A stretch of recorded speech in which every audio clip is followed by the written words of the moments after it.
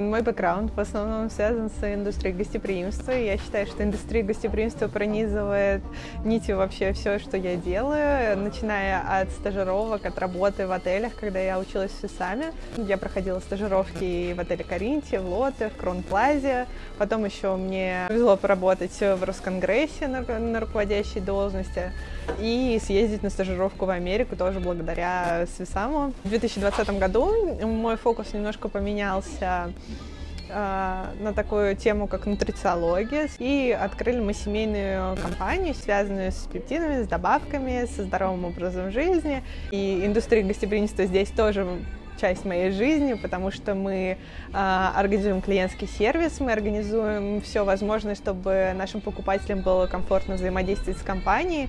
Вот, соответственно, здесь я говорю, что индустрия гостеприимства, она везде. Все четыре года это какое-то такое приключение, а, лодка карнавал, в котором происходило вообще все что угодно, начиная от первого курса, где мы там учились носить бокалы, все это падало, рушилось, и от курса к курсу, когда мы учились менеджменту, конечно, воспоминания очень теплые, о том, как мы создавали ресторан свой, как мы делали бизнес-планы, ну то есть это какой-то такой глобальный уже уровень понимания менеджмента был. Это все запомнилось именно как, как приключение как приключение, которое имеет вот в конце там диссертацию, бизнес-проект, который ты уже в конце отшлифовал и видишь, что ничего себе, вот эти четыре года прошли не зря, и была борьба с тем, что нужно э, представлять себя, нужно представлять проект, то есть это ну, настоящая школа жизни, я бы даже сказала, что это не просто университет, это прям действительно школа образовательная и школа жизни.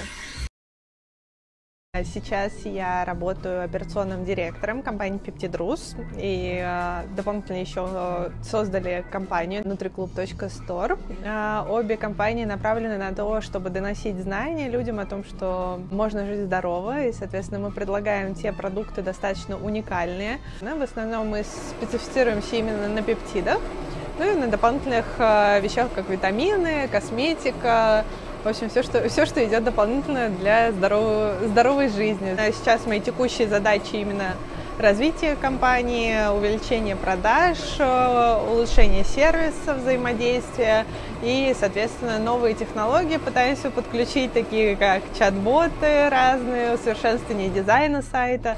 В общем-то, это, это все, чем я сейчас занимаюсь.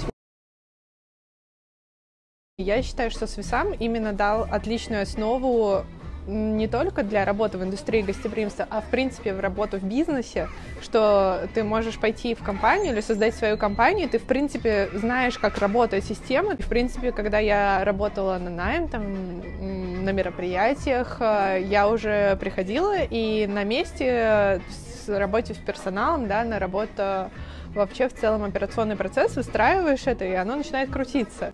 Вот, и, соответственно, я считаю, что это такая базовая основа понимания работы, и именно она мне пригодилась. Все, что было направлено на понимание того, как устроен бизнес, я считаю, что это все пригодилось. От и до, без каких-либо вот этой вот воды, которая обычно бывает. Там и операционный менеджмент, и финансовый менеджмент. То есть это все сложилось, пазлики сложилось, окей, идем работаем.